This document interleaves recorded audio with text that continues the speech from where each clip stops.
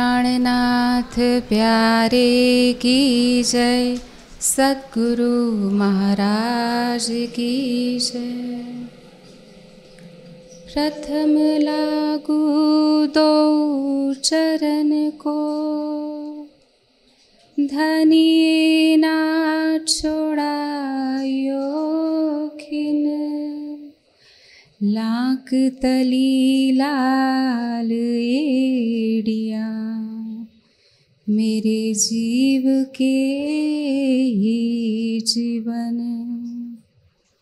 इन पाँव तले पड़ी रहो।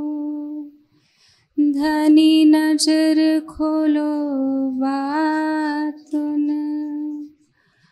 पलन वालो निरखो नेत्रे। मेरे जीव के ही जीवन मेरे जीव के ही जीवन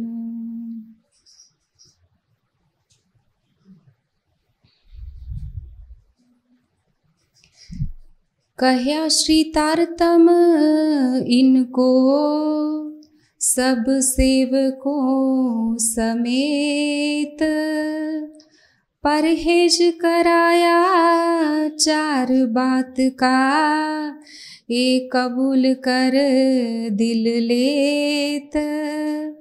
ए कबूल कर दिल लेत। एक हराम कहया मांस को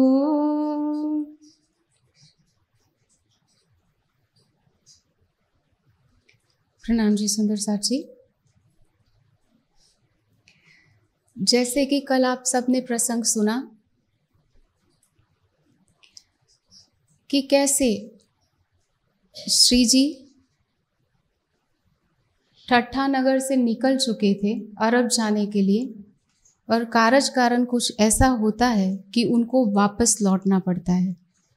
और वापस लौटते हैं तो चिंतामणि जी जो कबीर पंथ के बहुत बड़े आचार्य हैं, जिनके एक हज़ार के लगभग शिष्य हैं, उनकी आत्म जागृति होती है और कैसे श्री जी उनका अहंकार नष्ट करके उनको तारतम ज्ञान ग्रहण करवाते हैं।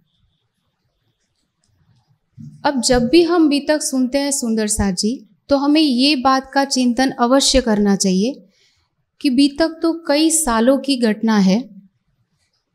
अनादिकाल से चली आ रही है और अनंत काल तक चलती रहेगी। सारा कुछ प्रसंग जो इस जागने के ब्रह्मांड में भी चौथे और पाँचवें दिन की लीला में धनी श्री देवचंद्र जी के तन से और श्री मिहिराज जी के तन से घटित हुआ। श्री जी के रूप में वो सारा कुछ तो समेट के नहीं वर्णन किया जा सकता है।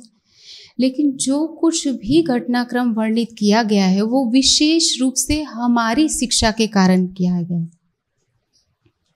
अगर हम वाणी भी देखें तो वाणी भी इसलिए, इसीलिए कही गई है कि साथ चढ़ने हैं, सो तो आए सही, पर पिछले साथ कारण ए बानी कही। तो बीतक में भी जो घटनाक्रम बताए हुए हैं, वो सिर्फ़ और सिर्फ़ हमारी आत्म जागृति के लिए ही है, ताकि हम ना भूलें।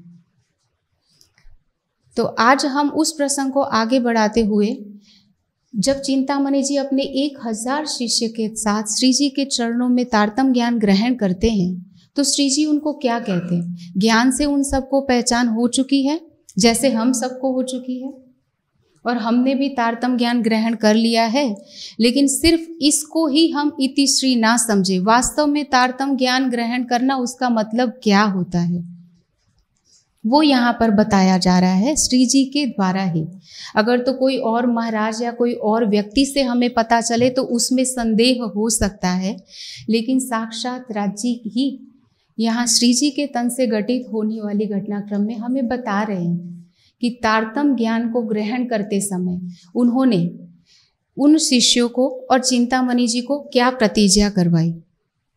हम सुंदर साथ भी जो तारतम ज्ञान ग्रहण कर लिए हैं और सोचते हैं कि बस अब हो गया तो ये सही नहीं है। हमारे लिए यहाँ पे बहुत बड़ी सीख दी जा रही है, क्योंकि जब हम तारतम बोलते हैं तो मंत्र का अर्थ सिर्फ़ जप करना तो होता नहीं है, उसे जीवन में उतारना होता है। और हम क्या कहते हैं, जब ये सुख अंग में आव ही तब छूट जाए विकार, जब ये सुख जिसका हम वर्णन कर रहे हैं हद बेहद से परे परम धाम का, उस अक्षरातीत प्रियतम का जो अनादि अखंड सुख है, जो आज दिन तक ना किसी को प्राप्त हुआ और ना ही कभी किसी को मिलेगा, जब उनके सतंग अक्षर ब्रह्म को ही वो नहीं मिल रहा है।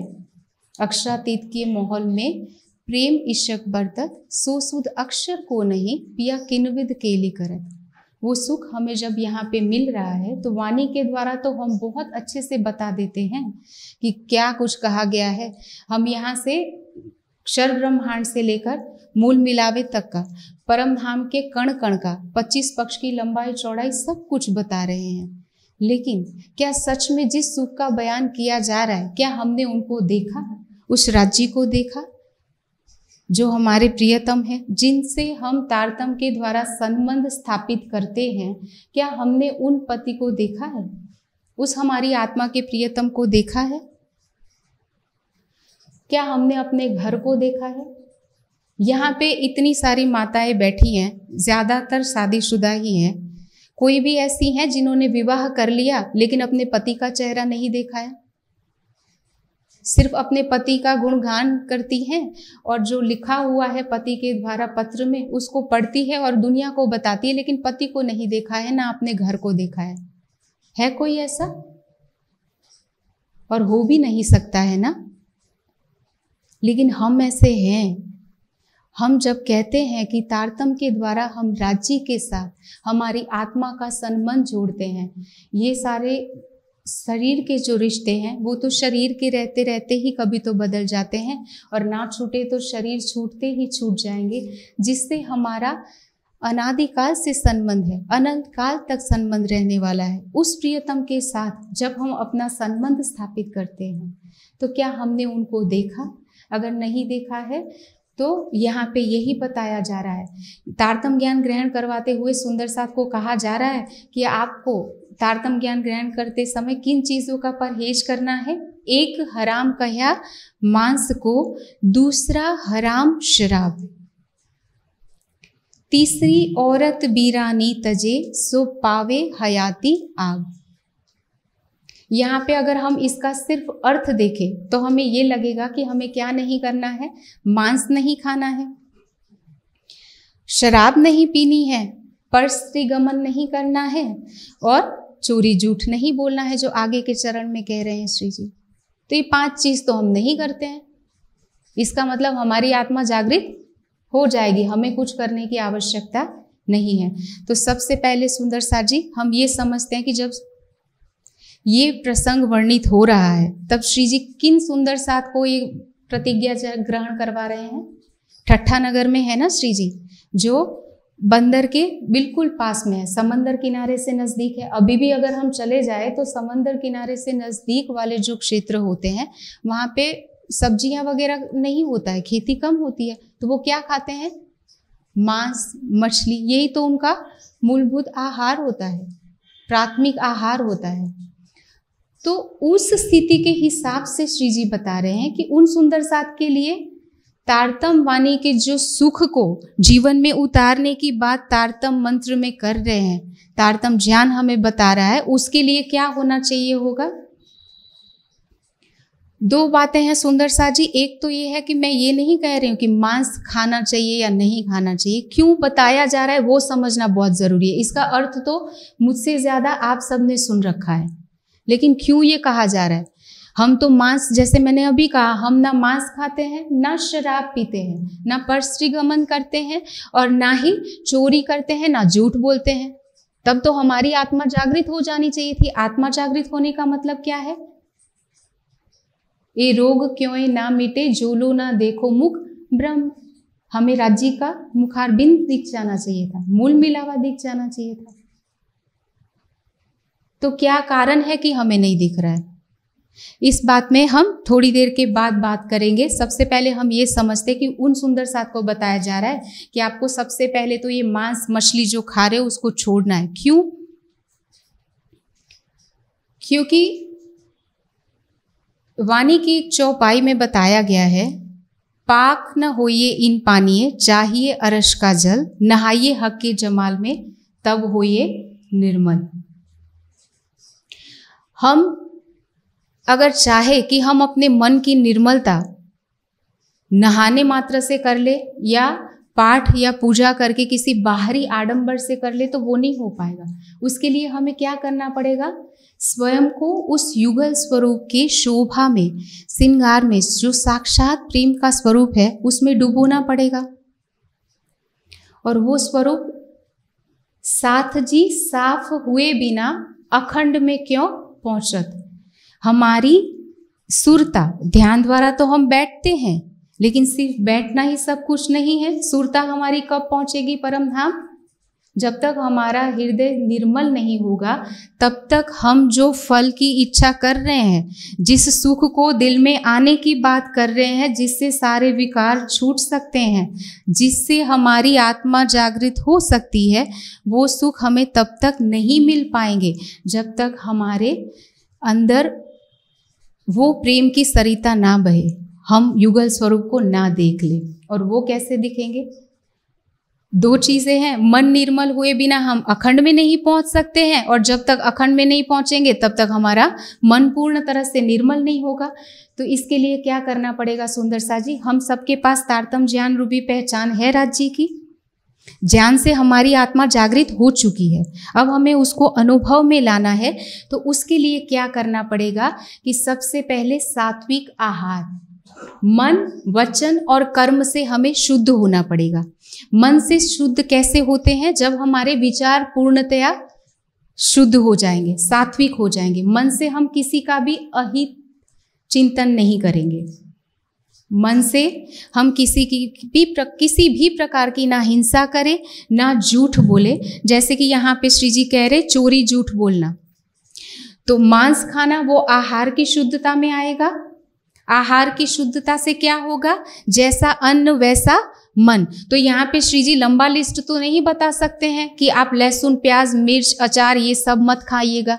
एक ही चीज़ बताई है जो उन लोगों को आदत लगी हुई थी। हम जब इस चरण को पढ़ते हैं तो हमें वर्तमान परिस्थिति या स्थान जिससे हम जुड़े हुए हैं, जिसके बगैर हम नहीं रह सकते हैं, उसी को कहा जाएगा अभक्ष और माया का भक्षण करना।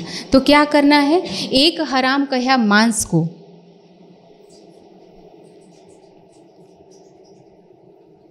हम जब कुछ भी भोजन ग्रहण करते हैं, मांस जो व्यक्ति खाता है, अगर उसको पूछा जाए कि आप मांस क्यों खाते हो तो वो क्या कहते हैं? कि अगर हम मांस नहीं खाएँगे तो जो मांसाहारी, हम जिन प्राणियों को खाते हैं, उनकी संख्या बहुत बढ़ जाएगी और प्रकृति का संतुलन जो है वो इम्बैलेंस्ड हो जाएगा। एक तो कारण ये बताते हैं, दूसरा बताते हैं कि मांस से हमारा शरीर सशक्त होता है, उससे हमें ताकत आती है। तो उनको अगर बताया जाए कि पांडव में एक भीम है, जिनके जितना, ऐसा कहा जाता है कि उन्होंने युद्ध में जिन हाथियों को घुमाकर आकाश में फेंका था, वो अंतरिक्ष में आज भी घूम रही हैं उनकी हड्डियाँ। उतनी ताकत उनमें थी। कहाँ से आती थी? ऐसी कोई भी मांसाहार की चीज़ नहीं है। जिसको शाकाहारी चीज़ से रिप्लेस करके हम उस, उन तत्वों को ना ग्रहण कर पाए जो हमारे शरीर के लिए आवश्यक है। अगर यहाँ पे चर्चा में हम ज़्यादा नहीं बता सकते हैं, सुंदर साची, अगर आपके आसपास कोई मांस या कोई भी अभक्ष पदार्थ खा रहा है या आपको किसी को समझाना है तो ज्ञानपीठ के द्वारा ही विनाश का पर्याय मांसाहार करके एक बुक छपी हुई है। आप उसका अध्ययन कर सकते हो, दूसरों को भी समझा सकते हो। मोटे तौर पर आप इतना बता सकते हो कि जिस हृदय में हम उस अक्षरातीत को बिठाना चाह रहे हैं, जैसा अन्न, वैसा मन, जैसा आहार होता है, वैसा ही हमारा मन हो जाएगा।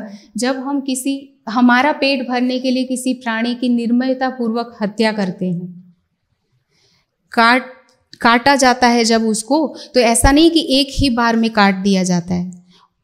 जब तक उनके शरीर से खून ना निकल जाए, तब तक उनमें प्राण रहने चाहिए, उसलिए उनको रेंद रेंद कर काटा जाता है रेत पूरा एक नली काटी जाती है, धीरे धीरे से जब सारा खून शरीर से निकलने लगता है, प्राण उनके निकले, उससे पहले सारा खून प्रवाहित हो जाता है, तब उनको काटा जाता है, तड़पा तड़पा कर उनको मारा जाता है।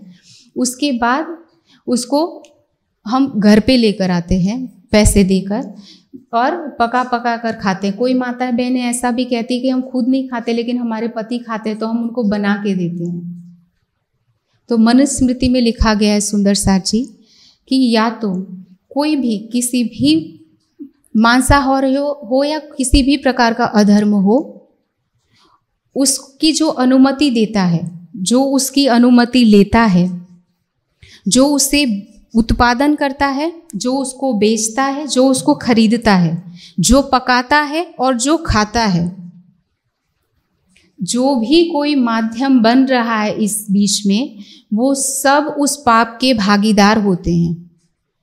और उनको ये कर्म भूमि है तो कर्म भुगतना ही पड़ेगा। अगर हम सोचे कि हम ब्रह्मात्मा है और हम हमको ये कर्म नहीं भुगतने पड़ेंगे तो ये हमारी सबसे बड़ी भूल है। क्योंकि ब्रह्मात्माओं के अंदर भी तो जीव तो सबके अंदर है ना? जन्म तो जीव ने ही लिया है। ब्रह्मात्मा तो सूरता है जो आई हुई है। और उसका रोल कब होगा? जब हम ध्यान में डूब जाएँगे, तब वो आत्मा का अंकुर प्रेम में डूबेगा और हमें वो सुख मिलेगा। लेकिन तब तक तो कुर्बानी किसे करनी पड़ेगी? जीव को ही करनी पड़ेगी। जीव को ही इन सब चीज़ों का अभक्ष को छोड़ना पड़ेगा। दूसरा कहा गया है शराब। किसी भी प्रकार का नशा। हम कहें, हम शराब नहीं पीते हैं, लेकिन अगर वर्तमान समय में हम चाय पी रहे हैं, कॉफ़ी पी रहे हैं, कोल्ड ड्रिंक्स ले रहे हैं, जिसके बगैर हम नहीं रह सकते हैं तो वो भी एक प्रकार का नशा ही है। नशा किसे कहते हैं? जिसके बगैर रहा ना जाए, जो हमें बेचैन कर दे। तो जैसे अभी मैंने कहा, कोई भी चीज़ ऐसी है, वस्तु ऐसी है, व्यक्ति ऐसा है अगर हम ये कपड़े भी पहने हुए हैं, इसके बगैर भी अगर हम नहीं रह सकते तो ये भी हमारे लिए नशा ही है। अभी किरंतन गाया जा रहा था, जो ज्ञान तो रखो, धनी तुम्हारी मैं। धनी जिस अवस्था में, जहाँ पर भी रखे, जैसे हम जिस बीतक को पढ़ रहे हैं, सुंदर सा जी, पूरी बीतक में हम पढ़ेंगे, कैसे देवचंद्र जी निकले हैं? माँ बाप को छोड़कर निकले हैं, सोलह साल की छोटी सी आयु में माए अपने बच्चों को ज्ञानपीठ में धर्म के लिए समर्पित नहीं कर सकती हैं, राज्य के लिए कुछ दिनों के लिए भी नहीं बेच सकती हैं। हम बोलते हैं, हमारे हृदय के टुकड़े छोटे छोटे से हैं, अभी बड़े नहीं हुए हैं। उस एज में, उस उम्र में देवचंद्र जी घर से निकल गए हैं। मिहराज जी बारह साल की छोटी उम्र में श्री जी, देवचंद्र जी के चरणों में पहुँचे हैं। उसके बाद भी हमें पता है कि पूरी उनकी ज़िंदगी कैसी? कभी अरब जाना पड़ रहा है, कभी बड़े भाई का धाम गमन हो रहा है, कभी पत्नी को छोड़ना पड़ रहा है तो कभी कुछ कभी कुछ, कभी सदगुरु नाराज़ है। तो कभी चोरी का इल्ज़ाम लग रहा है, जेल में जाना कोई छोटी बात है? और उसके बाद जब आ रहा सुंदर सा, हम आगे भी बी तक पढ़ेंगे, सुंदर सा जी औरंगज़ेब भी पीछा करेगा। भीख के टुकड़े भी मांग के खाने पड़ रहे हैं, सुंदर साथ सिर्फ़ नहीं मांग रहे हैं श्री जी भी तो ग्रहण कर रहे हैं। धूप शीत वर्षा का कष्ट उनको भी सहन करना पड़ रहा है। पन्ना जी तक। अभी भी वो श्री जी कहाँ पर बैठे हुए हैं जिनकी हम घटनाक्रम ये जीत की बीत तक को सुन रहे हैं? अभी भी तो पन्ना जी में वो समाधिस्थ बैठे हुए हैं। वो उस मिला उस मिल, मूल मिलावे का आनंद ले रहे हैं और हमारे लिए प्रेरणा है। हमें उनसे सीख लेनी है कि हमें अपने जीवन को किस प्रकार से करना पड़ेगा। जीवों को कैसी कैसी कुर्बानी करनी पड़ेगी तब जाकर उस अवस्था में हम पहुँचेंगे। तो यहाँ पर चिंतामणि जी बैठे हुए हैं। हज़ार शिष्यों के साथ और श्री जी उनको कह रहे हैं कि आप मांस खाना छोड़ो, शराब पीना छोड़ो। इससे हमें सीख लेनी कि हमें क्या करना है सुंदर सा जी। उस समय जो प्याज, लहसुन, मिर्च वगैरह मसाले हैं, वो मांसाहार में ही डाले जाते थे। हिंदू जो है वेद शास्त्रों को पढ़ने वाले, वो शुद्ध सात्विक आहार ही करते थे। तो उनको उस बात का परहेज करवाने की आवश्यकता ही नहीं पड़ती थी। जो जहाँ जाएगा, जो जिसको जिस चीज़ से नुकसान है श्री जी वही बताएँगे। सारे नाम तो लिस्ट नहीं बताएँगे। तो उनको बताया जा रहा है कि आप मांस खाना बंद करो, शराब या किसी भी तम्बाकू हो, सिगरेट हो, या किसी भी प्रकार के चाय, कॉफ़ी का भी अगर हम नशा कर रहे हैं तो हमें वो भी छोड़ना है। तीसरी औरत बिरानी तजे पर गमन या किसी भी प्रकार मतलब जो भी भाई है, वो अपने से बड़ी बहनों को, माता के रूप में देखे, हम उम्र को बहन की दृष्टि से देखे। माताएँ भी अगर भाई है तो उनको सम, हमारी ही उम्र के हैं, समकक्ष तो उनको भाई की दृष्टि से देखे या पिता की दृष्टि से देखें। तो विकार आएँगे ही नहीं। आत्मिक दृष्टि से देखने पर तो ये भी नहीं होगा। तो यहाँ पे यही कहा जा रहा है, जब बताया जा रहा है कि तीसरी औरत बीरानी तजे मतलब शरीर आहार को शुद्ध करने की बात पहले चरण में बताई गई। किसी भी प्रकार के नशे को छोड़ने से हमारी आदत छूटती है, जिससे हमारा मन शांत होगा। औरत बीरानी तचे का अर्थात हमें शरीर से भी क्या करना है, किसी भी चीज़ के शरीर दृष्टि से किसी को भी नहीं देखना है, सबको आत्मिक दृष्टि से देखना है। जब हम सब परम धाम की ब्रह्मात्मा है तो कौन स्त्री और कौन पुरुष? कोई दूजा मर्द न कहा भी, एक मेहंदी पाक। पूरन। उस अक्षरातीत, उस प्रियतम, उस हमारे राज्य के बिना तो कोई पुरुष है ही नहीं। जब हम उस भाव से देखेंगे तो किसी के मन में भी विकार नहीं आएगा और कह रहे हैं एक सो पावे हयाती आप। जब हम मन, वचन और कर्म से अधर्म को छोड़ेंगे तो हमें पावे हयाती आग वो अखंड का जल वो जमुना जी का जल हमारे हृदय में प्रवाहित होगा, जिससे हमारा रोम रोम निर्मल हो जाएगा। हमारा ध्यान, जैसे ही हम अभी तो ध्यान में बैठते हैं, सुंदर सार जी, लेकिन ध्यान लगना भी तो ज़रूरी है उस आनंद को पाने के लिए। वो कब लगेगा? जब मन स्थिर होगा, मन कब स्थिर होगा? जब हमारा आहार सात्विक होगा। आहार सात्विक होने से क्या होगा? हमारे विचार जो है वो सात्विक होंगे और चित्त के सात्विक संस्कार जो है, अब तक के पूर्व जन्मों में, हमारे जीव ने जो भी कर रखा है, उसमें जो सात्विक संस्कार हैं, वो सारे प्रबल होंगे। और वो सारे हमें सहाय, सहायक बनेंगे ध्यान में। और फिर धीरे धीरे धीरे, जिन हमारे प्रियतम को हम देखने का प्रयास करते हैं। उनकी छवि हमारे सामने आती जाएगी। जैसे जैसे वो प्रेम का स्वरूप हमारे हृदय में बसता जाएगा, तब छूट जाए विकार। वैसे वैसे ही हमारी आत्मा जागृत होती जाएगी और हम रहनी में स्थित हो जाएँगे। फिर हमें कोई बोलेगा ना कि ये पियो, ये खाओ, फिर भी हम उसमें लिप्त नहीं होंगे। वो हमारे हमारा आचरण ही बन जाएगा, रहनी में आ जाएगा। लेकिन जब तक रहनी में नहीं आता है, तब तक हमें करनी करनी पड़ेगी, प्रयास करना पड़ेगा। आगे श्री जी कह रहे हैं, चोरी झूठ बोलना इनका छोड़ा उदक और उनको चोरी करना और झूठ बोलना भी छुड़ाया पहले जीवहा शरीर से सात्विक करवा रहे हैं और अब क्या बोल रहे हैं? चोरी भी नहीं करनी है। चोरी नहीं करनी है, इसका मतलब ये नहीं कि हम किसी के पैसे नहीं चुराते या चीज़ें नहीं चुराते। अगर हम बोल रहे हैं ना कि तुम दुल्हा में दुल्हनी और न जानो बात जी। इश्क शो सेवा करो, सब अंगो साक्षात जी।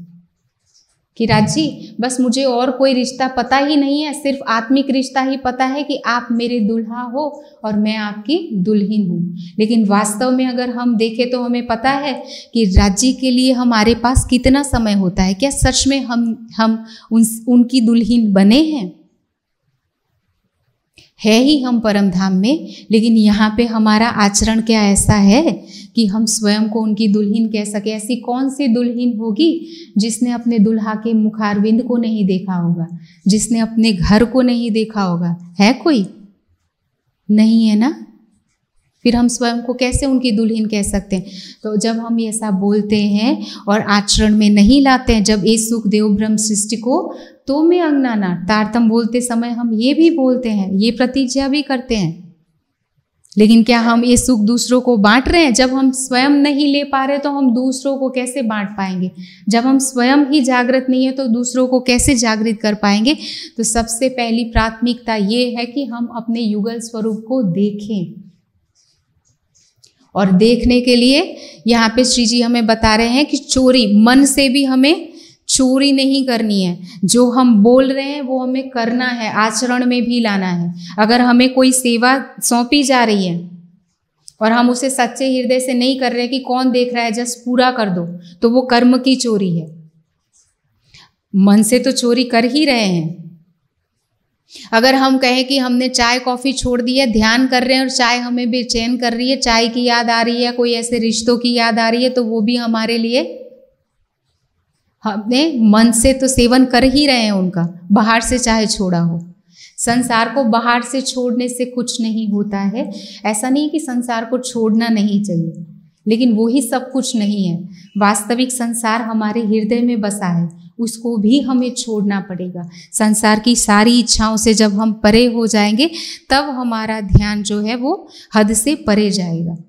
तब तक तो हम यहीं पे बैठे रहेंगे। हम जब ध्यान करते हैं तो हमें पता है ना, घर की चार दीवारी से ध्यान हमारा पौने घंटे तक तो बाहर नहीं जाता है। हम राज्य के चरण कमल देखते होते हैं, हमें विचार आता है बच्चे का। वो स्कूल गया है, खाया होगा, नहीं खाया होगा, बीमार होगा तो याद आएगी। कहीं और है तो कुछ घर में कोई फ़ंक्शन है तो उसकी याद आएगी, कभी ये तैयारी करनी है, वो तैयारी करनी है। ज्ञानपीठ में रहते हैं तो यहाँ पे भी बहुत सारी जिम्मेदारियाँ यहाँ पे भी हमें लगेगा कि ज्ञानपीठ की चार दीवारी में भी बहुत कुछ हो रहा है। तो यहाँ में लगेगा ना कि ये है, वो है। तो हमारा ध्यान तो घर की चार दीवारी से या ज्ञानपीठ की चार दीवारी से ही बाहर नहीं जा पाता है। तो क्षर से परे हमारा ध्यान कैसे चला जाएगा जो हम एक क्षण में बोलते हैं, हद को पार किया, अखंड योग माया को पार किया। परम धाम में मूल मिलावे में पहुँचे, कब पहुँच पाएँगे? जब वास्तव में सब कुछ छोड़ के बैठेंगे तब ना? तभी बोला गया है कि पहले पी तू शरबत, मौत का कर तहकीक मुकरर। माया से हम मर के बैठेंगे जब धनी के लिए, तभी हमारी सुरता उस अखंड में जाएगी। तो यहाँ पे जब चोरी करने का कह रहे हैं मतलब सिर्फ़ बाहर चोरी नहीं, मन वचन कर्म से किसी भी प्रकार की चोरी ना करनी और झूठ बोलना, वो है वाणी का तप। झूठ किसी भी प्रकार से नहीं बोलना है, तभी हमारी आत्मा जागृत हो पाएगी। और जब झूठ बोलना है, फिर भी सिर्फ़ वाचिक झूठ नहीं है, वो भी मन, वचन और कर्म से। तो ये बहुत ऊपरी तौर पे बताया जा रहा है सुंदर साथ जी, लेकिन हमें इससे सीख लेनी है कि हमारा आहार सात्विक होना चाहिए। किसी भी प्रकार का नशा, किसी भी चीज़ से, इस संसार की किसी भी चीज़ से हमारा नशा नहीं होना चाहिए, लत नहीं होनी चाहिए। लत ना हो तो क्या होगा? अगर हमें सिर्फ़ यही रट लगी हो, फिर फिर चरण को निरखिए, रूह को यही लागी रट। रट लगना मतलब उसकी लत लग जाना, आदत लग जाना। अभी हमें जो माया की आदत लगी है, वही आदत जब हमें उस युगल स्वरूप को देखने की लग जाएगी कि मुझे उनको देखना है। वो मेरे प्रियतम है, मुझे क्यों नहीं दिखेंगे? मेरा अधिकार है। और मैं इस ब्रह्मांड में उनके लिए आई हूँ। वो ये ज्ञान को मेरे लिए लेकर आए। अगर मैं नहीं देखूँगी तो और कौन देखेगा उनको? वो इतने सुंदर है, लेकिन मैं उनको ना देखूँ तो उनकी सुंदरता और कौन देखेगा? है कोई परम धाम में ब्रह्मात्माओं के अलावा जो राज्य की सुंदरता को देखते हैं? वो इतना मधुर बोलने वाले हैं। अगर हम उनको नहीं सुनेंगे तो कौन सुनेगा उस मधुरता को? वो प्रेम के अनंत सागर लिए हुए हैं, लेकिन वो प्रेम हम पर नहीं बरसाएँगे तो किस पर बरसाएँगे? तो वो हमारे लिए आए हैं, हम उनके लिए आए हैं तो हमें अपना ये उत्तरदायित्व निभाना है सुंदर साची और श्री जी यहाँ पे इन सबको प्रबोधित करते हुए ठट्ठा नगर में बता रहे हैं कि जब आप इन पाँच चीज़ों का परहेज करोगे तो क्या हो जाएगा? आपकी आत्मा जागृत हो जाएगी। अब हम कबू ना करें और वो सब एक स्वर में कहते हैं कि, श्री जी, आपने जो बोला है, इन बातों को हम कभी नहीं दोहराएँगे। आपने जो बोला है, वो परहेज हम करके ही रहेंगे। हम पाया बेशक हक, क्योंकि हमने आपके अंदर साक्षात अक्षातीत हमारे धाम के धनी प्रियतम की पहचान की है। फिर क्या होता है, सुंदर साथ जी, चिंतामणि जी, जब एक हज़ार शिष्य के साथ श्री जी के चरण में तारतम ग्रहण करते हैं तो छोटी बात तो है नहीं। तो उस बात का प्रचार, प्रभाव जो है, वो पूरे ठट्ठा नगर में पड़ता है। बहुत सारे लोग सुनने के लिए चर्चा आते हैं कि जब इतना बड़ा आचार्य उनके चरणों में अपने एक हज़ार शिष्य के साथ चला गया तो बहुत बड़ी बात है।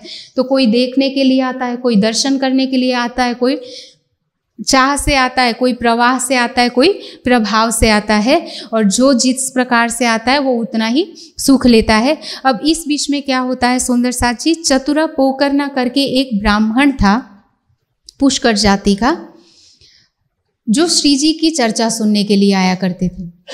अब उस समय श्री जी अखंड व्रज और रास की चर्चा करके सुनाते थे। अब इस ब्राह्मण ने भी ये चर्चा सुनी, उसको बहुत अच्छी लगी। वो रोज श्री जी के लिए दूध देने के बहाने आता था। श्री जी के लिए दूध लेके आता था सवेरे सवेरे और चर्चा सुनता था। और वही चतुरा, लालदास जी, शेठ लक्ष्मण दास जी, एक बहुत बड़े सेठ है। जैसे चिंतामणि जी कबीर पंथ के आचार्य बन के बैठे हुए थे और थी परम धाम की ब्रह्मात्मा, वैसे ही परम धाम की एक ब्रह्मात्मा है आसबाई, जिनको हम लालदास जी कहते हैं, जिनके तन के द्वारा माध्यम से ये बीतक लिखी गई है। वो लालदास जी की आत्मा कैसे जागृत होनी है, उसका अब प्रसंग बन रहा है सुंदर साथ जी। तो चतुरा पो करना उसके लिए माध्यम बनते हैं। वो श्री जी को दूध देने के बहाने आते हैं और श्री जी की चर्चा सुनते हैं। अखंड व्रज रास की चर्चा उनको इतनी अच्छी लगती है और वो चतुरा, पूरा दिन तो थोड़ी ना दूध बांटते फिरेंगे तो बाकी के समय पे वो काम करते थे। तो वो गोदाम था सेठ लक्ष्मण दास जी का। बहुत जहाज़ों से उनका अरब देशों में व्यापार चलता था उस समय। तो गोदाम उनके इतने बड़े थे तो उसका कारोबार संभालने के लिए भी बहुत सारे सेवक होंगे तो उनमें से एक थे चतुरा जी। अब उन्होंने ये चर्चा सुनी और वहाँ पे जाके सेठ लक्ष्मण दास जी को कहते हैं कि सेठ जी, आप जिस भागवत की चर्चा किया करते हैं और अखंड व्रज और रास की बात करते हैं तो क्या आपने वो अखंड व्रज और रास को देखा है? अब सेठ लक्ष्मण दास जी कहते हैं कि नहीं, उसको इस दृष्टि से नहीं देखा जा सकता है। चतुरा कहते हैं अच्छा फिर कौन सी दृष्टि से देखा सक देखा जा सकता है? तो वो बोलते कि उसको तो दिव्य दृष्टि से, आत्मिक दृष्टि से देखा जा सकता है। तो अब चतुरा कहता है अच्छा फिर वो आत्मिक दृष्टि, वो दिव्य दृष्टि जिसकी आप बात कर रहे हो, इतना समय हो गया आपको भागवत सुनते सुनते, वो दिव्य दृष्टि आपको प्राप्त हुई? अगर नहीं हुई है तो कैसे और कब प्राप्त होगी? अब लक्ष्मण दास जी, चुप, उनको जवाब नहीं आ रहा है। अब चतुरा पोकरना और प्रश्न पूछ रहे हैं। अच्छा आप बताते हो कि वो अखंड व्रज और रास जो है वो इस ब्रह्मांड से अलग है? तो ये बताइए, जब महाप्रलय में पाँच तत्व, तीन गुण और ये चौदह लोक का ब्रह्मांड नहीं रहेगा, महाप्रलय में समाप्त हो जाएगा, तब वो अखंड और व्रज और रास कहाँ रहेगा? क्योंकि अखंड का मतलब ही ये है कि जिसका कभी लय ना हो। और दूसरा प्रश्न भी पूछता है कि अखंड आप व्रज को भी कहते हो, अखंड आप रास को भी कह रहे हो। व्रज में तो दिन और रात की लीला है। और रास जो है, वो रात की लीला है सिर्फ़। तो अगर तो रास की लीला अखंड है और दिन हो जा रहा है तो रास भंग हो गया, लीला भंग हो गई ना। और अगर तो व्रज अखंड है तो रात दिन हो रहा है रात के बाद दिन होना ही पड़ेगा, नहीं तो व्रज की लीला पूरी नहीं हो पाएगी। व्रज की लीला पूरी होती है तो रास की खंडित हो जाती है तो ये दोनों अलग अलग अखंड होने चाहिए। कि जहाँ पे एक लीला है कि रात ही निरंतर चली जा रही है और रास चल रही है, तभी उसको अखंड रास कहा जाएगा। और दूसरी लीला है व्रज की, जहाँ दिन और रात हो रहा है और वो लीला चली जा रही है तो वो दोनों अलग अलग होगी। तो वो अखंड लीला कहाँ है? जब महाप्रलय में आपका ये शरीर नहीं रहेगा ये ब्रह्मांड नहीं रहेगा तो वो अखंड व्रज कहाँ रहेगा, वो अखंड रास कहाँ रहेगा, और आप कहाँ जाएँगे, और आपको वो दिव्य दृष्टि कब और कहाँ मिलेगी? तो इसके उत्तर में लालदास जी मौन हो जाते हैं। अब लालदास जी को लगता है कि तब लालदास चौंकिया आश्चर्यचकित होकर चौंक गए कि ऐसे प्रश्न ये कहाँ से पूछ रहा है? आज तक तो मैं उसको चर्चा सुना था, वो सुनता आ रहा है। अब ऐसे ऐसे प्रश्न पूछ रहा है प्रश्न भी सही है उसके। निरुत्तर हो जा रहा हूँ मैं, तब वो बेचैन होकर व्यग्र उनको पूछते हैं, तय कहाँ सुनी ये बात? चतुरा, तूने ये बात कहाँ से सुनी ऐसी अद्भुत बात? तब चतुरा पोकरना उनको कहते हैं तब कहया चतुरे ने, कोई साध आए इन ठौर? यहाँ पे एक अलौकिक साधु महात्मा आए हुए हैं, जो अखंड व्रज, रास और उससे भी परे की बात करते हैं। और आप तो सेठ बन के बैठे हैं और माया की संपत्ति कमाने में इतना लगे हुए हैं कि चिंतामणि जैसे कबीर पंथ के आचार्य की आत्मा जागृत हो गई। एक हज़ार शिष्य उनके चरणों में समर्पित हो गए। इतने सारे लोग जा रहे हैं, लेकिन आप तो बस माया के ही कारोबार में लगे रहे हो। जो माया का शरीर आपका आज है और कल नहीं रहेगा तो सिर्फ़ अखंड व्रज और रास की बात करने से तो आपको कुछ हासिल नहीं होना है। तब लालदास जी बोलते हैं कि बात बिल्कुल सही है, चतुरा। अब तू मुझे उन महात्मा जी के पास लेकर चल। तो चतुरा क्या कहता है सुंदर साथ जी? मैं उन्हें पूछ तुम्हें ले चलू। सोचिए, लक्ष्मण दास जी लौकिक दृष्टि से देखा जाए तो सेठ है। चतुरा उनके यहाँ पे सेवक है। लेकिन उनके लिए, चतुरा पोकरना के लिए, जागृत ब्रह्म आत्माओं के लिए लौकिक रिश्ते कुछ नहीं होते हैं। वो लौकिक मान मर्यादाओं को निभाते हुए भी सबसे पहला रिश्ता किसके लिए निभा रही है? सदगुरु के लिए। कि श्री जी के तन में युगल स्वरूप विराजमान है, वो मेरे सदगुरु है। अगर उनका आदेश होगा, मेरे लिए वो मालिक है मेरी आत्मा के। अगर उनका आदेश होगा तो मैं आपको ले जाऊँगा। हमारे जैसे नहीं, हम और आप होते तो क्या सोचते सुंदर सा जी? कि सेठ जी को अगर मैं मना करूँगा तो दुखी हो जाएँगे वो। और मुझे नौकरी से निकाल देंगे तो मैं क्या खाऊँगा, पीऊँगा? सोचते ना, क्योंकि हमारी लौकिक बुद्धि है, लेकिन वो चतुरा है, जागृत ब्रह्मात्मा है श्री जी के स्वरूप की पहचान की हुई है उसने, वो क्या बोलता है? कि नहीं, मैं उनको पूछ के फिर आपको ले जाऊँगा, उनकी अनुमति लेकर आता हूँ, चतुरा गया श्री जी से अनुमति लेने के लिए। और श्री जी ने कहा, उनको बुलाओ सिताब। उनको शीघ्र अति शीघ्र मेरे चरणों में लेकर आओ, मेरे पास लेकर आओ। तब क्या हुआ सुंदर साथ जी? काहू काहू ने मने करी। किसी किसी ने मना किया, क्योंकि वहाँ और सेठ भी बैठे थे श्री जी के चरणों में। चर्चा तो चलती ही रहती थी, चर्चा के बीच में आकर जब चतुरा बैठा और चर्चा के बाद में उनको पूछा तो सारे सेठ बैठे हुए थे। अब उन सेठों को लगा कि सबसे बड़े सेठ तो लक्ष्मण दास जी, अगर वो हमसे भी ज़्यादा बड़े सेठ आ गए तो हमारी महत्ता तो कम हो जाएगी। तो इसीलिए वो क्या कहते हैं, सेठ सेठ दुश्मन होते हैं ना, क्योंकि उनकी आपस में बनती नहीं है। माया के विकार पूर्णतः श्री जी के चरणों में बैठने मात्र से तो सबके जाएँगे नहीं। तो वो सेठ जो है, वो आनाकानी करने लगते काहू काहू ने मने करे कि उनको मत बुलाइएगा। तब क्या कहा श्री जी ने? फिर मेहर करी उनके बाप। श्री जी ने एक भी नहीं सुनी। उन्होंने बोला कि चाहे जो भी हो, कोई अगर मेरे से ज्ञान चर्चा सुनना चाह रहा है तो इसके लिए सबको सर्वसम्पत्ति है। मैं किसी को नहीं रोकूँगा। और श्री जी चतुरा को बोलते हैं तो चतुरा बहुत खुश होकर अब सेठ लालदास जी को अपने साथ ही लेकर आते हैं। चला अपने संग लगाए, अपने साथ ही लेकर लक्ष्मण दास जी को श्री जी के सामने आ गए। अब देखत ही दीदार को, अब लक्ष्मण दास जो से, लालदास जी सेठ को श्री जी का दर्शन करके बहुत ही आनंद हुआ और जब उन्होंने अखंड व्रज और रास की, अभी तो सिर्फ़ प्रश्न ही सुने थे उनसे, उन्होंने चतुरा से। जब उसका समाधान चर्चा में पाया श्री जी के मुखारबिंद से तो अब उनके संशय, मन की कुफलत, कुल्फत सब मिटी। अब उनके मन के संशय समाप्त हो गए और अब वो बार बार उस दिन उन्होंने डेढ़ घंटा तक चर्चा सुनी लग। एक दिन शाम को अपने बाग में घूम रहे थे। सेठ लक्ष्मण दास जी और इतना बड़ा बाग था, वहाँ पे भी उन्होंने माली रखे हुए थे। उसमें एक माली है, ज़िंदा दास। जी अब उन्होंने भी श्री जी से तारतम ग्रहण किया हुआ है, वो भी ब्रह्मात्मा है जागृत। अब वो ज़िंदा दास माली उनको पूछते हैं कि, सेठ लक्ष्मण दास जी आप जिनकी चर्चा सुनने के लिए इतने दिन से जा रहे हो, क्या आपने उनके स्वरूप की चर्च पहचान की? या पहचान किए बिना ही चर्चा सुने जा रहे हो?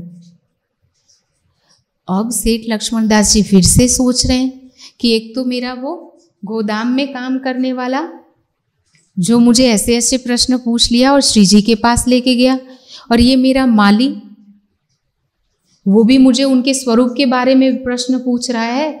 अब वो हाथ जोड़ते हैं और बोल रहे हैं कि कृपा करके तुम ही मुझे उनके स्वरूप की पहचान करवाओ। अब ज़िंदा दास माली उनको, लक्ष्मण दास सेठ को बता रहे हैं कि मैं आपको एक दृष्टांत देता हूँ कि भागवत में मार्कंडे ऋषि की कथा आती है। और उसके दृष्टांत से आपको पता चल जाएगा कि ये जो चर्चा करके आपको जगाने वाले श्री जी हैं, वो वास्तव में है कौन? अब सुंदर साथ जी, मार्कंडे ऋषि के विषय में दो तरह के घटनाक्रम है। उसमें से एक बात तो भागवत में वर्णित की गई है, दूसरी तारतमवाणी में बताई गई है। भागवत में कहा गया है कि मार्कंडे एक महान योगेश्वर थे, जिन्होंने अपने तप से नर नारायण ऋषि को प्रसन्न किया था। और उनसे वरदान में जब पूछा गया तो उन्होंने कहा कि मुझे माया भी दिखाना और अपने चरणों से अलग मत करना। उनके इन वचन को पूरा करते हुए, कृपा करके जब उनको समाधिस्थ किया गया, तब ध्यानावस्था में उनको ऐसा अनुभव हुआ कि चारों ओर महाप्रलय का दृश्य है, पानी ही पानी हो गया है पूरी सृष्टि में, और वो खुद उसमें तैरते जा रहे हैं। काफ़ी समय तक वो भटकते रहे उस पानी में। तब उनको एक बरगद के पेड़ का पत्ता दिखा, जिस पे एक छोटा सा शिशु लेटा हुआ था। जब उन्होंने उस बालक को देखा तो उसकी इतनी मोहनी छवि थी को उस, उसको देख के वो मोहित हो गए। और जैसे ही उस छोटे से बालक ने सांस ली तो मार्कंडे ऋषि उस सांस के साथ उनकी, उस बालक के मुख से होते हुए उनके पेट में प्रवेश कर गए। और उस पेट में उन्होंने मार्कंडे ऋषि ने पूरी सृष्टि को देखा। वैसा ही दृश्य जैसा महाप्रलय से पहले था सारे ग्रह नक्षत्र, पूरी सृष्टि का दृश्य उस बालक के पेट में देखा। और जैसे ही उस बालक ने सांस बाहर छोड़ी, उस सांस के साथ मार्कंडे ऋषि बाहर आ गए। और फिर से उन्होंने देखा कि चारों ओर प्रलय ही प्रलय, पानी ही पानी है। कुछ समय के बाद पानी भी अदृश्य हो गया महाप्रलय का दृश्य भी अदृश्य हो गया और वो बालक के रूप में जो नारायण थे, वो भी अदृश्य हो गए। और दूसरा जो प्रसंग है सुंदर साजी उसमें ऐसा कहा जाता है कि मार्कंडे ऋषि ने जब अपने आराध्य नारायण को प्रसन्न किया, आदि नारायण को तो उन्होंने उनको वरदान दिया। जब मार्कंडे ऋषि ने इच्छा की कि मैं आपके चरणों से अलग भी ना हो और माया को भी देखूँ तो उनको आदि नारायण ने बोला, ठीक है। तथास्तु कह के वो अदृश्य हो गए। अब एक दिन वो पुष्पभद्रा नदी के किनारे चंदन घिस रहे थे। घिसते घिसते ही वो उनको ऐसा ध्यान समाधिस्थ हो गए और उनको अनुभव हुआ कि वो खुद को कैसे देखने लगे धोबिन धोबन के रूप में। अब अपने मूल स्वरूप की उनको विस्मृति हो गई, वो स्वयं को धोबन के रूप में देख रहे हैं। एक स्त्री कन्या के रूप में कि एक कन्या के रूप में अपने को नदी में तैरते हुए देख रहे हैं और सामने एक अपरिचित धोबी था जिसने उसको, उस कन्या को बचाया और अपने घर ले गया और उससे शादी करके उन्होंने उसको धोबन बना लिया। शादी हुई, कुछ वर्षों के बाद उनके संतानें हुई और पहले एक, दो, तीन और चार जैसे ही संतानें बढ़ती गई, माया का पसारा बढ़ता गया और जैसे व्रज में हमने कह दिया था ना राज्य को, पहले तो हम बहुत चाव से जाते थे कान्हा के पास रास करने के लिए, जैसे जैसे हमारा परिवार बढ़ता गया, पुत्र, पौत्री, सारा कुछ बढ़ता बढ़ता बढ़ता, कामकाज बढ़ता गया तो हमने उनको क्या कह दिया कि आपको तो आप तो कुछ नहीं देखते हो, लेकिन हम तो कुल वधुआ नार है। हमें हमारी सासू गाल देती है वो। वैसे ही बिल्कुल क्या हुआ? इस प्रसंग में भी अब मार्कंडे ऋषि तो भूल गए हैं कि मैं ऋषि हूँ और मैंने ऐसे तप किया था और मुझे यहाँ पे भेजा गया है। उनको लग रहा है कि मैं धोबन ही हूँ। इस धोबी ने उपकार किया है मुझ पर मेरी जान की रक्षा की तो उसी उपकार के बदले उन्होंने शादी कर ली। बच्चे हो गए, गृहस्थी बढ़ती गई। अब धोबन भी, क्योंकि कपड़े भी धोने हैं।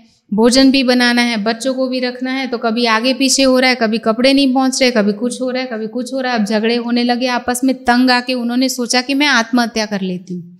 किसने सोचा सुंदर सा जी? मार्कंडे ऋषि जो उस धोबन के रूप में आए हैं, उन्होंने सोचा कि मैं आत्महत्या कर लेती हूँ। जैसे ही वो आत्महत्या करने गए तो नारायण जो है वो ऋषि बन के आए आदि नारायण और उन्होंने दरवाज़ा खटखटा के उनको बोला कि भोजन करा दो, माई। तो अब वो मार्कंडे ऋषि कहते हैं कि कहाँ मैं आत्महत्या करने जा रही थी, अब ये ऋषि आए हुए हैं, उनको भोजन कराना तो मेरा उत्तरदायित्व है, भूखे हैं तो पहले उसको, उनको भोजन करवा देती हूँ, फिर तो मरना ही है, पुण्य का काम हो जाएगा। अब भोजन तो करवा रहे हैं, लेकिन क्या बोल रहे हैं नारायण जी? ऋषि के रूप में आए हुए वो कहते हैं कि मार्कंडे की कथा सुनाते हैं, तब हम भोजन पाते हैं। कि मैं भोजन तो कर लूँगा, लेकिन जब तक मैं मार्कंडे ऋषि की कथा नहीं सुनाता, तब तक मैं भोजन नहीं करता हूँ। अब दोवन बोल है कि कोई नहीं, जब भोजन बना दिया, खिलाना तो है ही तो कथा सुन लेता हूँ। अब मार्कंडे ऋषि की कथा सुनाने लगते हैं नारायण जी, जो ऋषि के रूप में आए थे। कि एक बार एक मार्कंडे ऋषि थे, बहुत बड़े योगेश्वर थे, उन्होंने तप किया। ऐसे ऐसे आदि नारायण को प्रसन्न किया।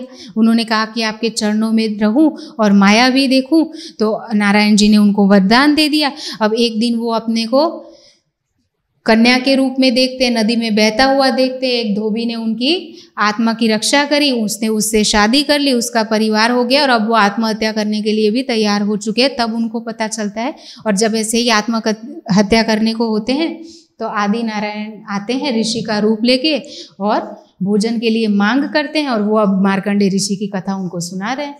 अब इतना ही सुनते उसको लग गया उदोबन को कि अरे, मैं तो स्वयं को भूल ही गई थी। अब उनको एहसास होता है कि ये मार्कंड ऋषि और कोई नहीं, ये तो मैं स्वयं ही हूँ। और ये जो मुझे चर्चा सुना रहे, कथा सुना रहे, ये तो स्वयं आदि नारायण है, उनके चरणों में जैसे ही प्रणाम करते हैं कि प्रभु, अब इस माया इस माया को मैंने देख लिया, इसको आप समेटो और स्वयं को सारी माया समाप्त हो जाती और स्वयं को फिर से वहीं पे जहाँ चंदन घीस रहे थे, वहीं पे खुद को तालाब के किनारे पाते हैं। अब सुंदर सा जी, ये चर्चा, ये सारा जब जिंदादास माली लालदास जी को कहते हैं और फिर उनको बताते हैं कि लालदास जी, हम और आप भी इसी तरह से हैं। ये जो आकर हमें बता रहे हैं ना कि व्रज में हम, हमने परम धाम में इश्क रबत किया था। फिर हम सबसे पहले व्रज में आए, फिर रास में आए, फिर तीसरे चौथे दिन की लीला के बाद अब पाँचवें दिन की लीला चल रही है। और श्री जी के तन में बैठकर वो राज्य ही हमारी आत्मा को जागृत कर रहे हैं। बाकी अखंड की बात खुदा की गवाही खुद, खुदा ही देवे। बया करे, खुद हुक्म सिर लेवे। उनके बिना तो और कोई बता ही नहीं सकता है।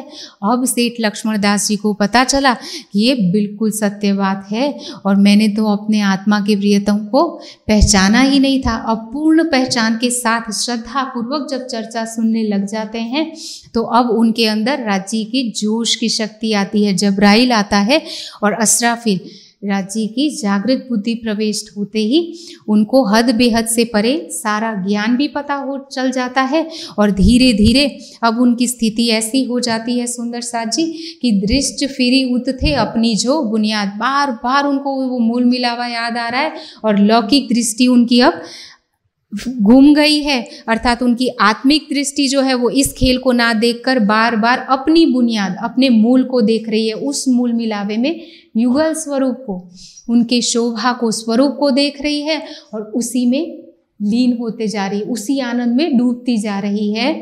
अब क्या होता है सुंदर सा जी? चिंतामणि जी भी आ गए हैं चरणों में और इतने बड़े सेठ लक्ष्मण दास जी भी आ गए हैं तो अब धीरे धीरे सुंदर सात का समूह बढ़ता जा रहा है। जो जो सुन रहा है, सब प्रभावित होकर श्री जी की चर्चा सुनने आ रहे हैं। जब इतने बड़े बड़े लोग जा रहे हैं तो कुछ ना कुछ तो होगा ही। तो सब प्रभाव से सुनने को आ रहे हैं। बहुत सारे सुंदर सात सम्मिलित होते हैं, बहुत चर्चा सुनते हैं, लेकिन तामे ईमान दाखिल वह भय, जाके धनिये पकड़े हाथ। लेकिन ईमान जिसका दृढ़ है जिसके धनी ने हाथ पकड़े हैं। वही सुंदर साथ में सच्चे हृदय से सम्मिलित हो रहे हैं। बाकी चर्चा तो बहुत सुन रहे हैं। जैसे हम भी सुन रहे हैं सुंदर साथ जी, अगर सिर्फ़ इन चर्चा को कानों तक सीमित रखेंगे तो हम भी ऐसे के ऐसे ही कोरे के कोरे ही आए हैं और कोरे के कोरे ही चले जाएँगे। जो भी सुनते हैं, जितना भी सुनते हैं, उसको जितने भी अंश में जीवन में उतार सकते हैं, उतना उतना उतारना शुरू करेंगे। तो क्या होगा? वाणी कहती है, वचने कामस धोई काढ़िए, राखिए नहीं रजमात्र जो गुवाई सर्वे जीतिए, त्यारे थइये प्रेमना पात्र। जैसे जैसे हम इन वचनों को हमारे जीवन में उतारते जाएँगे, आचरण में लाते जाएँगे, वैसे वैसे ही हमारे ऊपर जो माया की कामस चढ़ी हुई है, वो धुलती जाएगी। और जैसे जैसे ही माया का प्रभाव कम होता जाएगा, हमारे अंदर प्रेम की पात्रता आती जाएगी। और जैसे जैसे पात्रता आती जाएगी तो वो युगल स्वरूप तो हमारे हृदय में बैठ के कहते ही है ना कि तुम पर दम दम जो बरतत, सो सब इश्क हक का पल पल मेहर करत, वो तो हर पल। इस घड़ी भी हमारे ऊपर वही प्रेम और आनंद की वर्षा कर ही रहे हैं। लेकिन हमें उसका एहसास नहीं है, क्योंकि बारिश तो हो रही है, लेकिन हमने अपने घड़े को उल्टा कर रखा है। और हम बोलते हैं, बारिश नहीं हो रही है तो इसमें बारिश का कसूर नहीं है। राज्य तो मेहर और प्रेम की वर्षा कर ही रहे हैं। निरंतर यमुना जी की धारा हमारे हृदय में बह रही है। लेकिन हमें उसका एहसास नहीं हो रहा है, क्योंकि हम कहाँ पे देख रहे हैं, माया की तरफ़ हमारा लक्ष्य तो जैसे जैसे हम राज्य की तरफ़ आगे कदम बढ़ाएँगे वैसे वैसे ही हम पात्र बनते जाएँगे और हमारे अंदर वो प्रेम की धारा आती जाएगी। हमारे हृदय निर्मल होता जाएगा। धीरे धीरे धीरे करके वो युगल स्वरूप कब हमारे सामने आ जाएँगे और कब हमारी आत्मा जागृत हो जाएगी, हमें पता ही नहीं चलेगा। लेकिन इसके लिए हमें निरंतर अभ्यास करना पड़ेगा। ऐसा नहीं कि आज सुना और कल छोड़ा। परसों सुना और नरसों छोड़ा। निरंतरता होनी चाहिए। अगर यहाँ की डिग्री भी हासिल करनी होती है, सुंदर साह जी, एक डॉक्टर की डिग्री भी हासिल करनी होती है तो कितने साल पढ़ना पड़ता है? बच्चे को अगर इंजीनियर बनाना है, डॉक्टर बनाना है, आईएएस बनाना है, कितने माता है पिता पूरा परिवार भोग देता है, वो बच्चा भी कितने घंटों का भोग देता है, कितनी पढ़ाई करता है, तब जाके कुछ हो पाता है।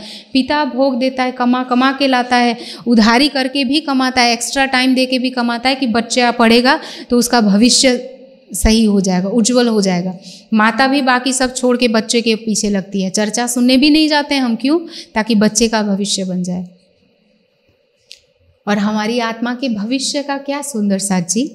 ये सारे उत्तरदायित्व हमें निभाने चाहिए, लेकिन हमें ये भी सोचना है कि अगर हम शरीर के उत्तरदायित्व के लिए इतना समय देते हैं तो हमारी आत्मा के कल्याण के लिए हम कितना समय दे पा रहे हैं। और हमारा जिससे आत्मिक संबंध है, जिन ब्रह्म आत्माओं को, उनको हम माया से निकालने के लिए और स्वयं की आत्मा को जागृत करने के लिए जागो और जगाओ के लिए हम अपना कितना समय दे पा रहे हैं, कितना भोग दे रहे हैं, इन दोनों में संतुलन करके हमें चलना पड़ेगा। तो ये सारे सुंदर श्री जी के चरणों में आ रहे हैं।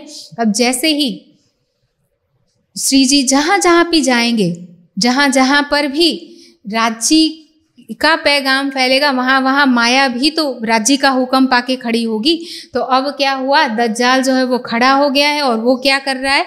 राधा वल्लभी मार्ग के वहाँ पे अनुयायी थे। आचार्य थे वहाँ पर।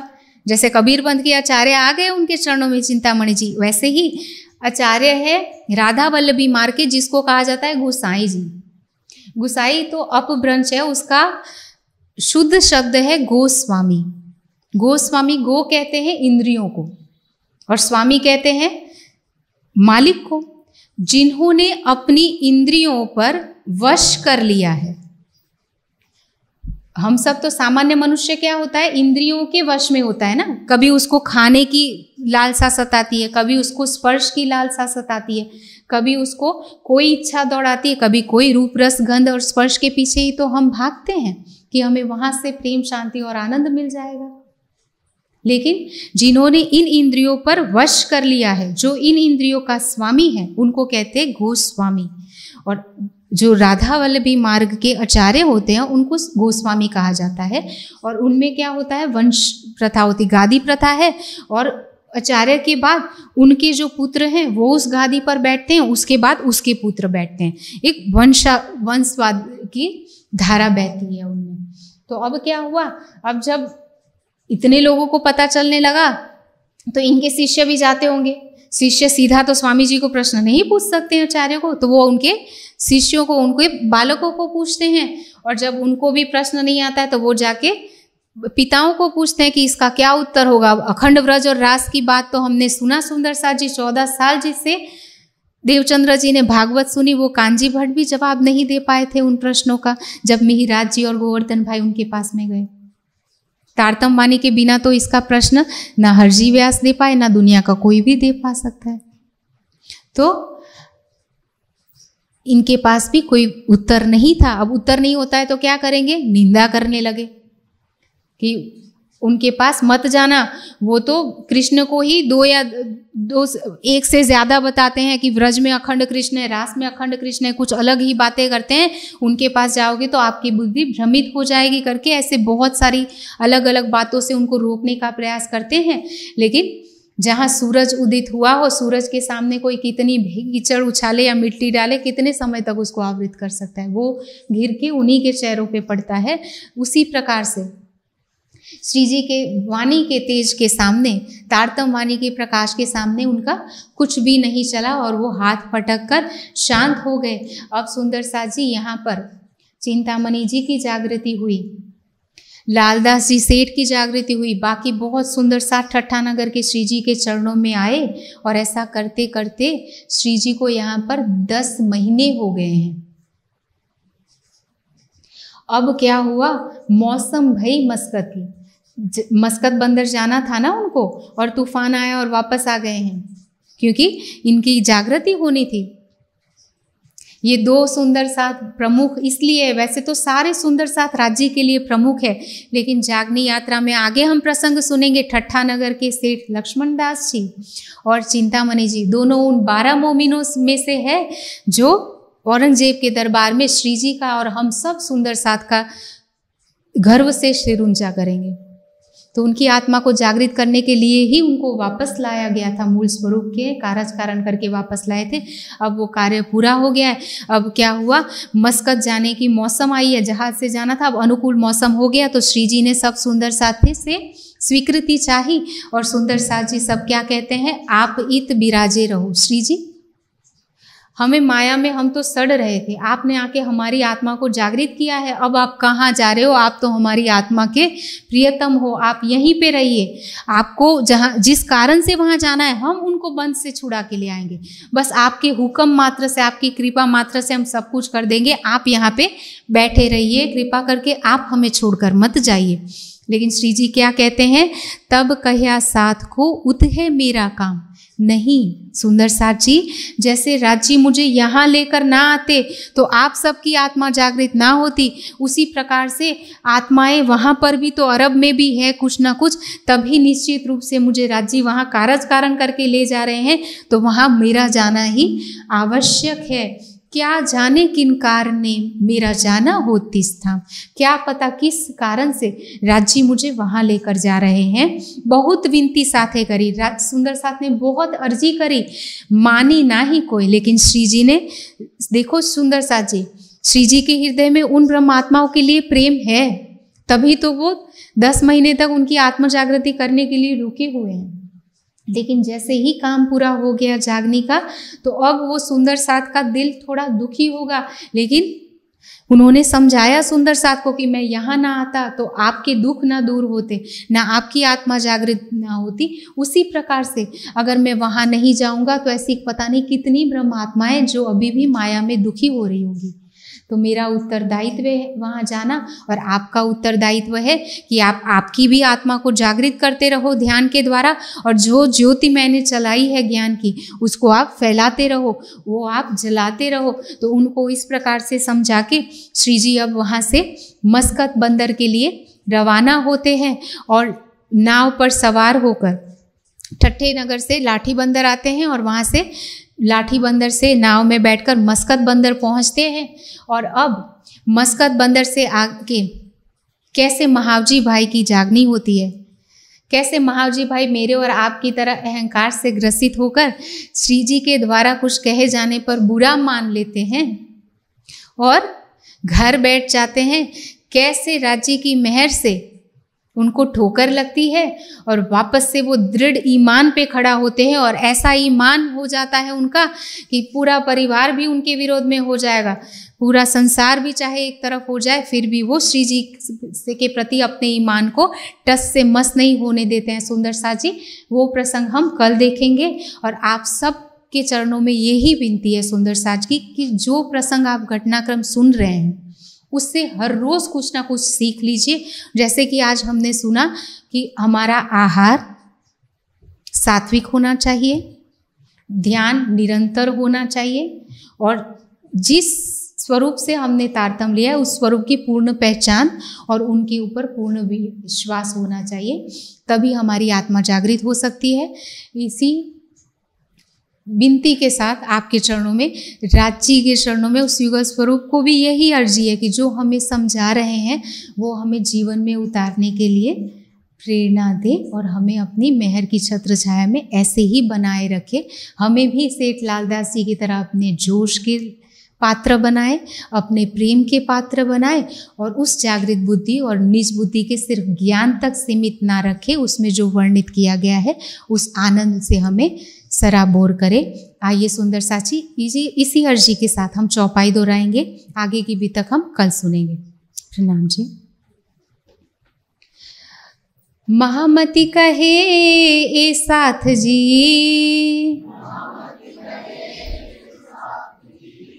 ए ठठ की बीतक।